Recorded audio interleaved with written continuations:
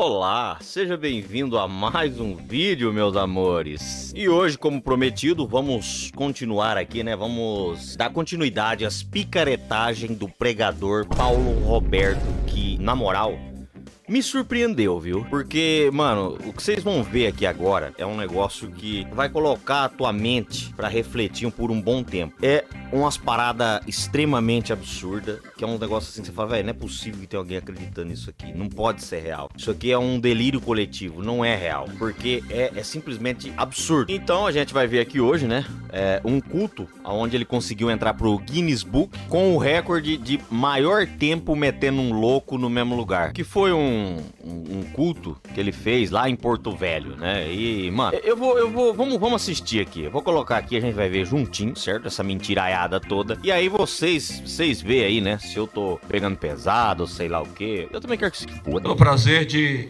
estar aqui em Porto Velho. Quantos paralíticos, quantos cegos, quantos surdos, quantos mudos, quantos milagres já vimos aqui. Quantos milagres, que saudade de vocês. Pois é. Quantos obesos emagreceram. Ele já começa a contradizer, né? Ele já tem prova em volta dele ali, ó, que o milagre não funcionou. Logo de cara a gente já consegue ver isso daí, ó. Nós já temos prova que esse milagre não funcionou. Porque esse milagre aí que ele falou de negócio de, de, de obeso que não é mais obeso. Saudade de vocês.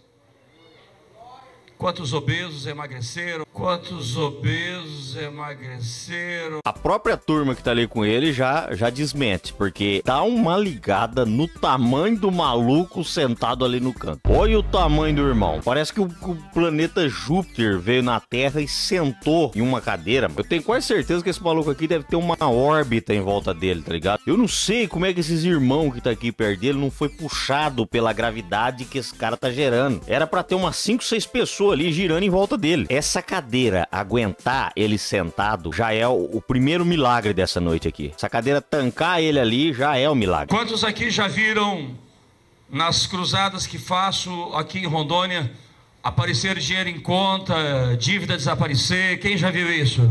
Quem já viu? Olha aí.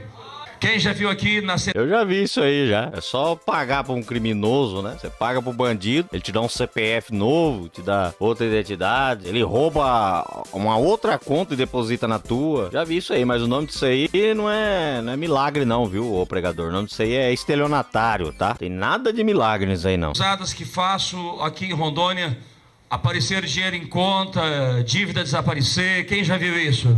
Quem já viu? Olha aí. Quem já viu aqui nascer dente em banguelo, dente virar ouro? Quem já viu ah, isso? Ah, louco, mano. Agora joga na minha cara se pelo menos uma pessoa o dente depois voltou a ser osso. Meu Deus do céu, velho. Cara, o cara é o terror dos dentistas. O dentista pega esse cara na rua aqui vai arrebentar ele no pau. Além dele, dele fazer nascer dente em banguela, ele ainda fala o dente virar ouro. Puta que pariu. Nunca. Eu estava ali agora no congresso da Inglaterra com os londrinenses. Ele tava na Inglaterra com os londrinenses. Mano, eu duvido esse cara tava na Inglaterra, mano. Vai tomar no cu, velho. Se for, olha, tem muita gente otária nesse planeta mesmo, viu? E quando saio de Roma e estou vindo para o Brasil, o Espírito Santo revelou para um dos que trabalham na minha equipe, equipe Milagres. Não é para ele vir para Cuiabá, ele vem só até Guarulhos, faz uma mala, um funcionário aguarda ele em Guarulhos. Por quê? Porque de lá o Espírito Santo quer levá-lo aos londrinenses, na Inglaterra, porque a obra é grande. Mano, não seria os ingleses de Londres, na Inglaterra, londrinense? Eu nunca ouvi essa palavra, londrinense. Isso aí a gente usa aqui no Brasil. Paulista, não sei o que, sei lá. Eu nunca ouvi isso. Quando eu chego em Guarulhos, troco de mala e vou para a Inglaterra. Corri, fiz uma matéria que eu sonhava no quarto de oração de John Wesley, quase fui preso porque as leis lá são diferentes do Brasil. Eu menti de propósito. Eu disse, depois eu peço perdão para Deus e que se dane. Deus Ah, tá vendo porque ele mente? Ele mentiu de. Eu menti de propósito. Depois eu peço perdão pra Deus e que se dane. Ele faz isso com certa frequência. Já dá pra ver aqui que ele não mente de hoje, né? A vida do cara inteira é baseada na mentira. Tipo, ele vai. Ah, vou mentir aqui, depois eu peço perdão pra Deus e tá tudo certo. Foda-se. Você já sabe que eu vou mentir mesmo. Porque pra entrar no quarto. Ah, olha o cara falou aqui. Fui preso porque as leis lá são diferentes do Brasil. É. Eu menti de propósito. Eu disse, depois eu peço perdão para Deus, é que se dane. Deus já sabe que eu vou mentir mesmo. Porque para entrar no quarto. É, Deus já sabe que eu vou mentir mesmo. Ele usa isso nas pregações dele também. Ah, Deus já sabe que eu vou mentir mesmo. Foda-se, eu minto aqui, depois peço perdão para Deus e saio com o bolso cheio de dinheiro. De oração de John Wesley, o maior pregador que a Europa já conheceu de milagres. John Wesley ele teve que fazer um púlpito de parafuso para subir em cima, porque ele tinha tanto poder que de encostar na roupa dele, os doentes eram curados. Ah, vai se fuder, vou tomar no O povo tá tomando remédio à toa, então, aí, ó. Só esfregar lá na roupa do John Wesley, do John Wesley, sei lá que nome é essa porra. A indústria farmacêutica tá perdendo dinheiro com esse homem, moço. é louco. Pegava um pedaço de roupa desse cara aí, ó, e vendia na farmácia, com receita, tá ligado? Qual que é a tua doença? Não importa, foda-se. Tá aqui, ó. Vou vender pra você um pedaço da cueca do John Wesley aqui, ó. Tó, você vai fazer um chá com esse pano aí dentro, aí você bebe e é curado. Qualquer doença, não importa doença você tiver, para todas, todas. Aí eu pedi para entrar no quarto de oração, a almofadazinha toda podrezinha onde ele ajoelhava, e eu menti pro guia. Ah, você, mente... você tá mentindo desde a hora que você chegou aí. O guia falando, eu não entendendo nada no idioma deles, e aí quando ele disse para dizer para mim que não podia passar daquela cordinha. Eu menti, disse: "Ah, Paulo foi preso, de repente eu fico preso aqui, fica até famoso, correndo, eu vou lascar esse guia, vou entrar". O cara ele já, já contou 14 mentiras em 10 segundos. É uma metralhadora de meter louco. Ele já, ele já sortou aqui, ó, umas 15 mentiras em 10 segundos de história. Ele já mentiu pra 8 pessoas. Só nessa historinha dele que ele já mentiu pra 8. Aí quando liberaram pra entrar, eu corri, pulei a cordinha, ajoelhei lá e eles querendo me tirar, eu agarrei. Se puxar, quebrava tudo, né? Eu falei, enchei de louça. Eu falei, se puxar, eu quebra tudo. E eles, não, não, não puxa. Na língua dele não puxa. E eu ali dizendo, agora eu posso dizer que eu orei na almofadinha de Deus, e aleluia. Não vai dar glória a Deus, não? O cara, mano, o cara quer que dá glória a Deus. Ele foi lá na Inglaterra pra fazer vandalismo, mentir pros outros, ignorar as leis, pra grudar na almofada que tá lá, sei lá, histórica, né? Uma almofada de um outro imbecil que devia ser igual ele. E ele quer que os outros dá glória. É a mesma coisa de um cara que picha muro. O cara que picha muro chegar pra sociedade e falar: vocês não vão me agradecer, não? É a mesma coisa. E ali na Inglaterra eu vi uma criança de 6 anos de idade receber 13 dentes de ouro.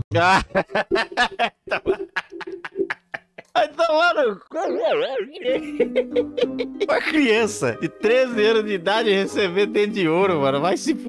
O maluco acabou de nascer os dentes verdadeiros, mano. O moleque era bicheiro. A criança era filho de cigano, tá ligado? Recebeu dente de ouro. Calma que vai piorar. Vai piorar, mano. Isso aqui... Eu não tenho palavras pra descrever isso aqui. Não tem palavras. Só a gente vendo mesmo. Quando Deus começou a fazer milagres eu acho que até hoje tem macarrão na parede. As irmãs que estavam na cozinha, o anexo à, à, à igreja, então põe caixa de som. Aí Jesus começou colocar dente de ouro nas cozinhas. Eu não vou nem comer essa ah. comida, mas deve estar tudo babado. As irmãs devem ter cuspido tudo nessa comida. E as irmãs cuspiam e poliam no lugar, jogavam macarrão, brincando de jogar macarrão na parede. Mano, por que que Deus dá dente de ouro, mano? Deus já fala, ouro não entra no reino do céu, ouro. Aí ele vai lá, vai dar dente de ouro. Que desgraça é essa, mano? Que esse cara tá falando? E mais uma vez, ele é desmentido aqui. Falou que os cultos que ele vai, Panguelo cria dente, nasce dente de ouro e o caralho a quatro. E olha aqui, ó. Olha aqui o pastor que tá atrás dele. Cadê? Ele não tem nem os dentes normal. Tá faltando aqui, ó, o centroavante, o pivô, o atacante, tá faltando uma porteiraça aqui, ó. Tá igual um, um, uma portaria de motel na boca do cara aqui, ó. E cadê os dentes de ouro dele? Cadê? Não precisa nem ser de ouro, cadê os dentes normal dele? Não nasceu. Agora pensa bem, o cara aqui é um pastor da igreja. É o primeiro, né? É o, é o homem de Deus aqui, ó. Ele tinha que receber os dentes. E ele não tem. Por que que vai dar dente de ouro pra, pra, outras pessoas? Olha aqui, mano, o cara é seguidor, tá aqui, ó. Cadê? Mais uma vez, o argumento dele foi derrubado e destruído pela própria equipe que tá aqui junto com ele. O Espírito de meu Deus, esse dom de pai, eu posso falar? A esquizofrenia começou. Sim, então eu falo só essa parte. O Senhor Deus acaba de me dizer que acabou de escolher duas pessoas. Esquizofrenia comendo. Sim, eu falo desse jeito então. O Senhor Deus acaba de me dizer que O cara tá sem os remédios dele, velho. Esquizofrenia pegando brabo. Ele tá escutando voz na cabeça e tá achando que é Deus e falando, mano. Que garota, você é uma criança, mas chega aqui. Você. É, queria falar não, tá ligado? Mas eu desses pessoal aqui não deixava esse pastor se aproximar muito de criança, não, tá? Porque ele já teve um certo problema com isso aí. Pastor é preso em Cuiabá por suspeita de de menores. Pastor Paulo Roberto Alves foi flagrado com duas garotas de 11 e 16 anos. Segundo o boletim de ocorrência, ele pagou 150 reais às meninas. O pastor e ex-candidato a vice-prefeito de Cuiabá, que tem 52 anos, ele foi pego aí no flagra, né, do, com a caminhonete junto com duas meninas. Por que que colocaram aqui suspeita de coisa e tal. Porque essas duas meninas era garota de programa infantil. Então, uma delas, né, a de 16, passou batido, não foi considerada ali e tal, porque acho que tem negócio de idade, enfim. É só vocês pesquisar aí que vocês vão ver a notícia certinho. Mas ele foi preso por causa disso, porque ele tava financiando o, a prostituição infantil em Cuiabá. Então, eu não acho que é uma boa ideia deixar esse cara perto de criança. Eu nunca passei vergonha em nenhum dos meus congressos, especialmente Rondônia me respeita. Ah. És uma criança ainda. Ah.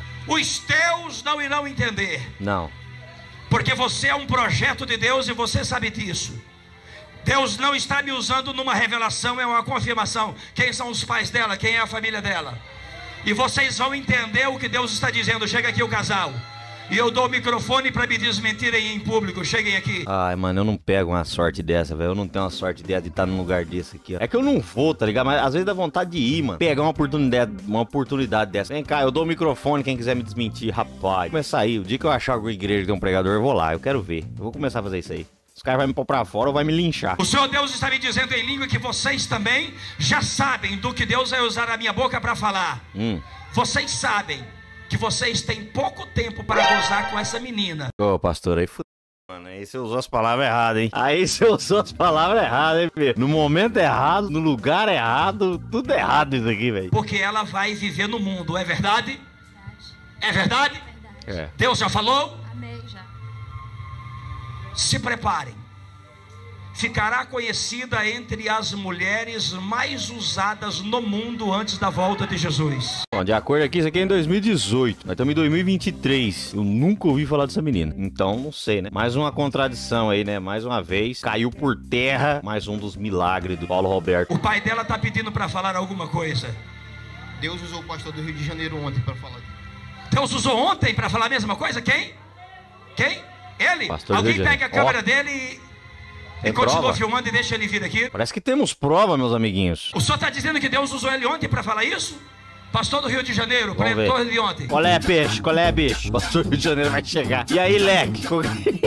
Quando a gente tá pregando, às vezes a gente esquece alguma coisa. Você lembra? Ah, ele já veio, mas o cara já veio, ele já veio metendo migué no cara, mano. Ele já veio metendo louco. É, quando a gente tá pregando, às vezes a gente esquece de alguma coisa. Já pro cara falar, ah, não tô lembrado disso, não, mas já veio com uma dessa já aí. Já, já preparou o psicológico do cara. Mais ou menos, eu acho. Ô, oh, mais ou menos. O cara meteu um mais ou menos. O cara meteu um mais ou menos. Foi. Foi ou não foi? Foi ou mais ou menos, porra? Esse aqui é o momento de confirmação, você não pode estar tá em dúvida. Quando a gente tá pregando, às vezes a gente esquece alguma coisa. Você lembra disso? Mais ou menos, eu acho que Então, mais ou foi. menos. Pela foto do celular. Pela foto? Lembrou agora? O cara concordou por livre e espontânea pressão. O cara tá ali tão pressionado que ele falou, velho, posso falar agora, né? Agora eu vou ter que falar que fui eu mesmo, né? Foi dessa aqui, eu vou ter que, vou ter que entrar na onda. Como é que eu vou desmentir esse cara aqui?